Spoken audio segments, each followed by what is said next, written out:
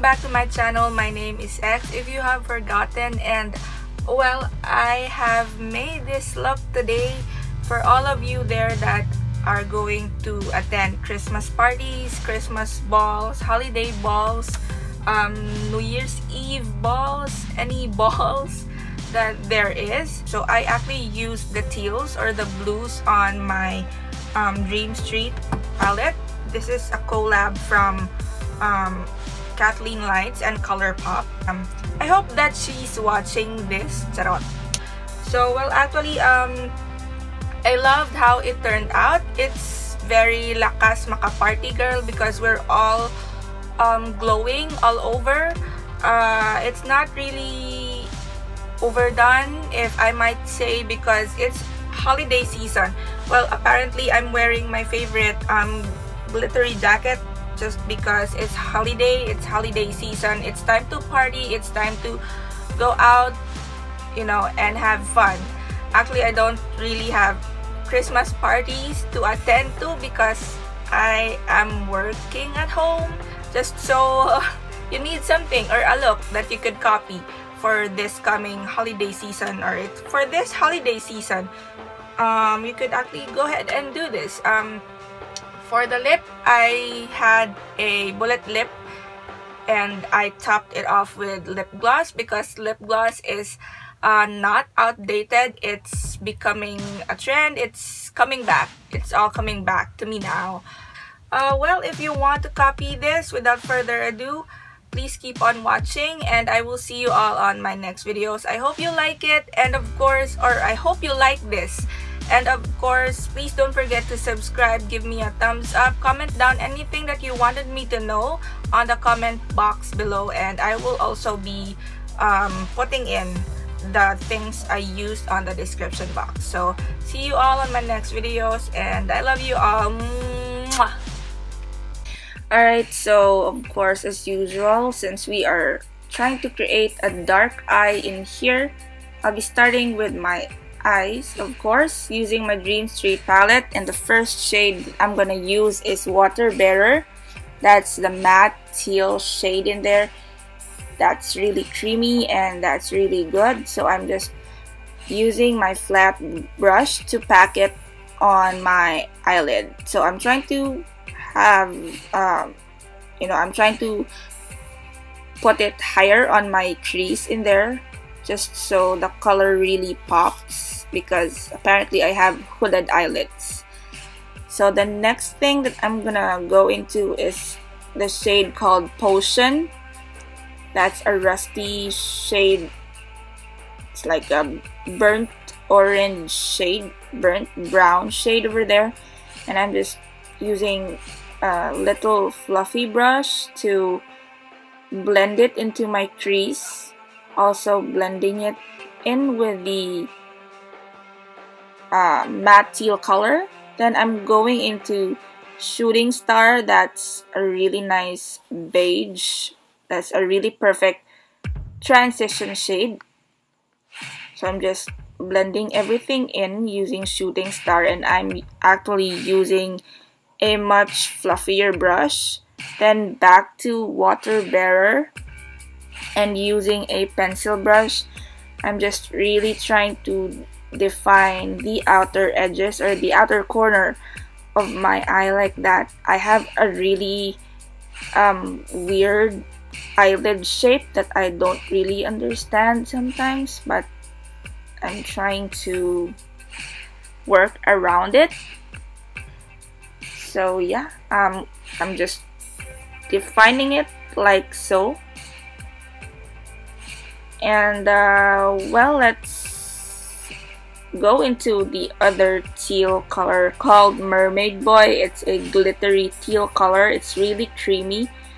And again i'm just packing it over my lid like so.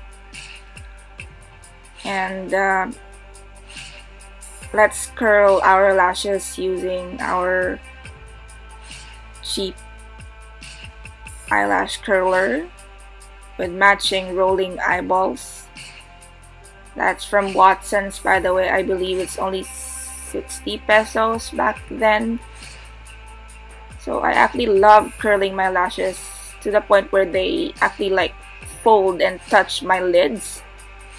And yeah, mascara, the best part. I'm actually using the L'Oreal Voluminous Miss Manga Rock mascara that my best friend gave me. And I'm just trying to layer the mascara. And fun fact, we're not trying to use any false eyeshadow.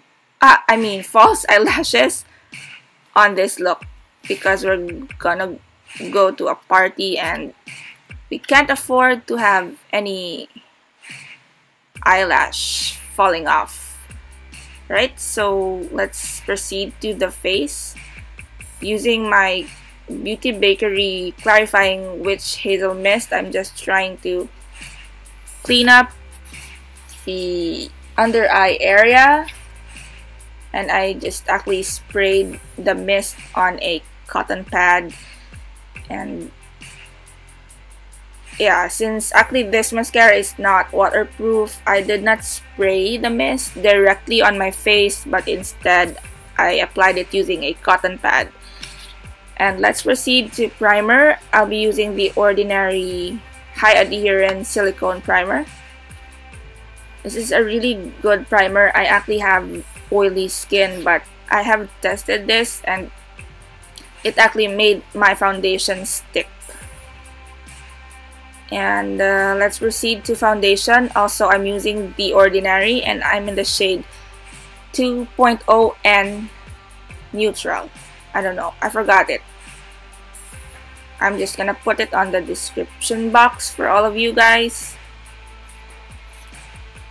And um, yeah as usual I'll blend everything together using my favorite Eco Tools makeup sponge. And yeah we just need to make sure that everything is blended most especially on our neck area and also for concealer I'll be using my ColourPop no filter concealer in the shade yeah fair neutral. I actually also love the formula of this one. Um, it's actually you know uh, or it actually gives me a high coverage coverage whatever compared to my foundation which I really like. And to set my concealer and also my foundation I'm using the uh, powder from my Wet n Wild contouring palette called Dulce de Leche. I'm just you know buffing it into my skin using a brush let's proceed to the lower lid. I'm back with water bearer and I'm also oh, I'm actually using the same brush. It's a flat brush but I'm just concentrating it on my lash line. And let's go into spark. It's a really perfect red color that really complements that teal. I don't know if you can see that on camera, but uh, yeah, I'm trying to blend them together. And for our inner corner highlight, I'm using Kaleidoscope. That's a really nice, sparkly, metallic blue color that really makes your eyes pop when you use it and I'm also using kaleidoscope to highlight my brow bone brow bone it's really different brow bone brow bone brow bone all right for um, my lower lashes I'm using the fashion 21 double up um, I forgot what you call that. It's the red mascara that I really love. And to contour my face, I'm just using the contouring shade from my Dulce de Leche palette using that really dense brush. I'm not really uh, blending it in yet because I'll be using another bronzer on top of it later on. And yeah, I'm actually just using the same shade to contour my nose and I'm only using an angled eyeshadow brush. I believe that I usually use. And for bronzer, I'm using my favorite ColourPop um, pressed powder bronzer in the shade Private Party. And I'm just using a fluffier brush to give warmth to the perimeters of my face. Like that. And yeah, I don't forget to give or to define that divided thingy over there on my chin. For blush today, I'm gonna use my 95 peso blush from Careline that's called Tomato or Fresh Tomato. Tomato? Yeah, it's actually fresh tomato and I'm using um, my unicorn blush brush. And for highlight, that's actually the star of the show. It's the EB Advance um, Glow Out highlighter in the shade Strobe. And I'm just, wow, look at that. I look like a walking aluminum foil. I'm just blending it together with my blush over there. I just usually highlight the high points of my face like the top of my nose my cupid's bow as well.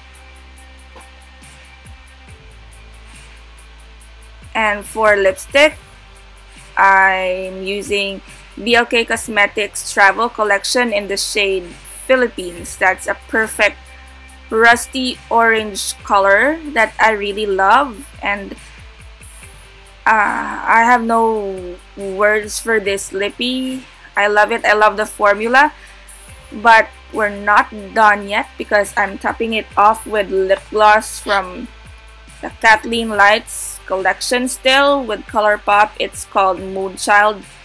Exactly a matching lip gloss for the eyeshadow palette that I use. So uh, yeah, bye now!